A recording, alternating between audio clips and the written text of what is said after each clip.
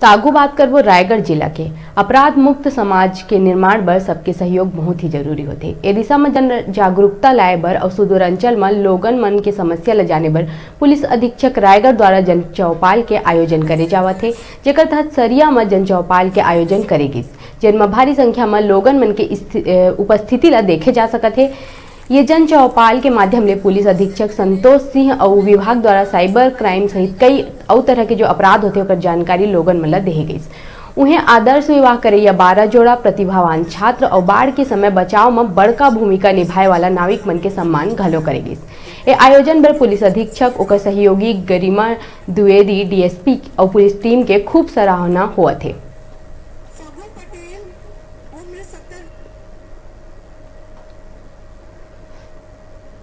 फगू पटेल आज जो कार्यक्रम में एक प्रमुख चीज़ आदर्श विवाह को लेकर के थी उसमें आदर्श विवाह करने वाले लोग जो बिना दहेज शादी किए हैं उनको भी आज पुरस्कृत किया गया उनको सम्मानित किया गया।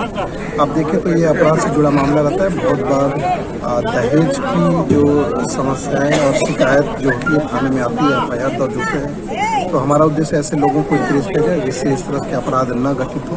साथ साथ ऐसे लोगों को हम लोग ये भी सलाह देते हैं कि आगे भी लाइफ में अच्छे से जीवन पार्टनर के साथ रहें। डोमेस्टिक वायलेंस जैसी चीज़ों को भी हम लोग को रोकना है और पति पत्नी को एक सच्चे साथी की तरह मिलकर कि पुलिस पब्लिक आम पब्लिक पुलिस से डरती है।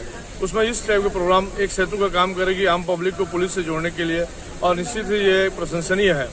आने वाले समय में भी इसका अच्छा उदाहरण देखने को मिलेगा और इस मंच के माध्यम से लोगों को जागरूकता दिया गया कि किस तरह से आप अपराध से बचें और अपराध करने से बचें। साथ ही साथ पुलिस यातायात एवं महिलाओं की सुरक्षा के बारे में भी इसमें बातें कहेगी, जो आने वाले समय में लोगों को जागरूक करने में काफ़ी हद तक सफल होगी। शराब बंद हो और गांव-गांव में शराब बिक्री बंद हो, इसके लिए हम लोग चर्चा किए और एसपी साहब ने बहुत ही इस बात को गंभीरता से लिया और बोले कि नहीं, गांव-गांव में अब जब भी शराब कोई बेचता है तो तुरंत हमको बताएँ और उसके लिए हम तुरंत कार्रवाई करेंगे और गाँव में शराब बंदी बंद हो, ऐसा आश्वासन हमको एसपी साहब ने दिया।